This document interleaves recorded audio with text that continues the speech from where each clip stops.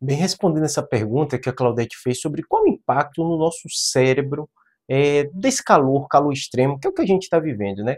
O nosso cérebro, né, ele regula a temperatura corporal. É curioso porque o ser humano é um animal que tem a temperatura dele estável. Então pode estar tá fazendo calor lá fora, ou frio, a gente tenta regular. Mas para isso, isso tem algumas consequências. Né? Quando a gente vive um calor muito alto, né, uma região chamada do hipotálamo no nosso cérebro, ele tenta fazer uma série de medidas para que esse calor não tenha impacto interno no nosso corpo.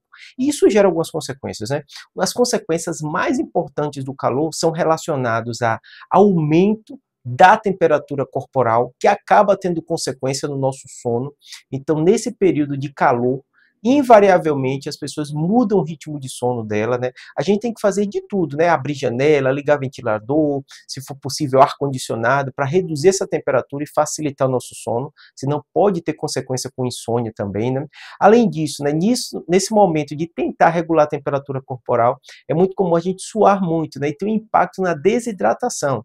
Quando o nosso corpo está desidratado, o nosso cérebro não funciona bem. Por isso que é muito comum a gente sentir aquele cansaço, aquela fadiga, o raciocínio mais lento, quando a temperatura está mais elevada. Né? Além disso, dá uma vasodilatação, que prejudica também a circulação de sangue no cérebro.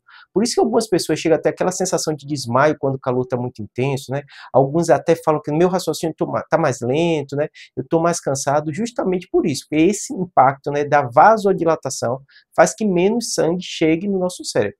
Por isso que quando está um calor extremo, para a gente ter a saúde cerebral boa, o que a gente deve fazer? Hidratar bastante, evitar ficar direto sobre o sol, né? Lembrando que algumas pessoas que têm enxaqueca, né? O sol pode ser um gatilho para enxaqueca, né? Além disso, usar chapéu, usar boné, né? E o tempo todo estar tá bebendo água e usar roupas confortáveis, né? Para evitar com que esse calor ele tenha um impacto maior no nosso corpo, tá bom? Espero que tenha ajudado. Qualquer coisa, deixa aí as perguntas para Claudete que a gente tenta responder. Um abraço.